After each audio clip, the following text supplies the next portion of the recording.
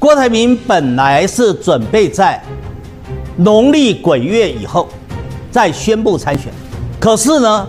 郭台铭基于下列的三个原因，所以他提早在昨天上午十点钟就宣布参选了。第一个原因，郭台铭发现他的民调的支持度越来越低，很明显的，郭台铭迟迟不宣布参选，支持郭台铭的人开始感觉到不耐，觉得郭台铭犹抱琵琶半遮面，扭扭捏捏的。第二个原因，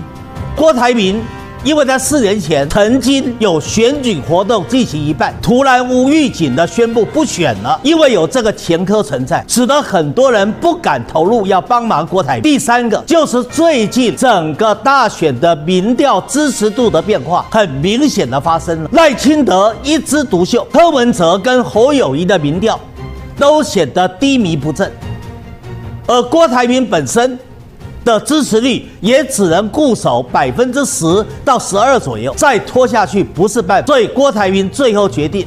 要提早在昨天的上午就宣布要投入大选。抖音。